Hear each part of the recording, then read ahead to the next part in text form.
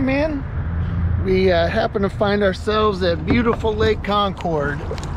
And uh, I'm dressed like it's cold. It's not too cold. I got an A-rig tied on, man. It's windy, it's overcast. I got some bla a bladed A-rig.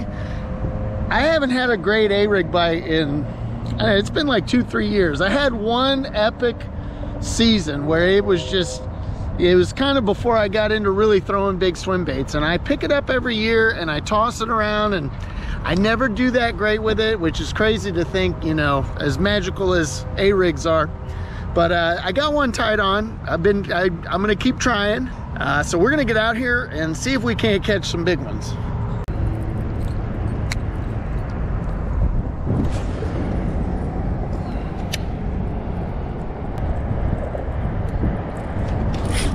We go, there we go. Come on, baby, there's one. Oh, guy. Good God, there we go. Oh, that's a nice one. That's a nice one. That's an A-rig fish right there, baby. There we go. Oh, guy. Somebody set their drag a little loose. Oh, guy. Because it was slipping.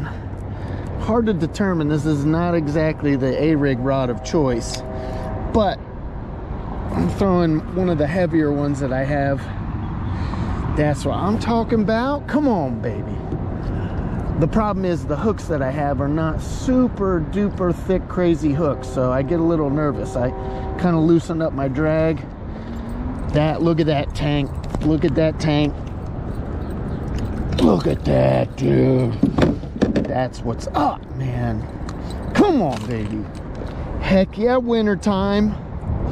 That's, man, every day in the winter I'd be out here fishing if I could. That is God, dude, that's that's what I'm talking about.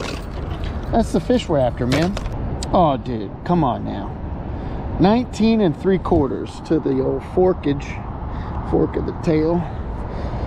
Holy shnikes, dude. Look at how thick that girl is, dude. I mean, we're down here in Florida. I'm sure there's fish spawning. So I'm told. I don't, in these smaller lakes that I fish, I just don't notice it until January. That just seems to be, I don't start noticing them spawning till January, February. I'm sure in bigger lakes they are. You, I always hear about it like they are, but this girl is chocolate block full, super fatty, 14 inches around. And, uh, you know, so I'm this is kind of the time of year where I'm going to start poking around the shallows and looking and seeing if I see beds, if I see fish on beds, whatever. But they're definitely great time of year where you can still get up shallow, you can catch them deep. Wintertime's great. We got a good day out where it's not too cold. We got that going on. Heck yeah.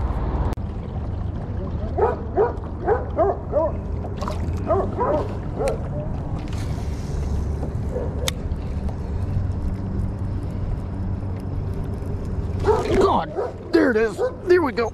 There's another one. There we go. This guy a little bit shallower than the first. That's another good one though. That's another good one. There we go. There we go. Hammered it. Look at that. Right down right in the maw, dude. Right where you want to see. That is, that's a fish that wanted that swim bait. Another good one, man.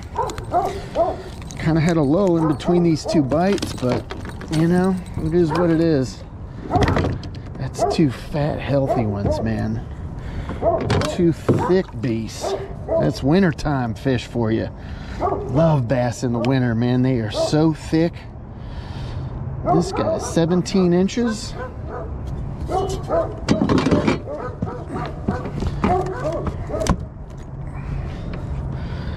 17 inches and she is or he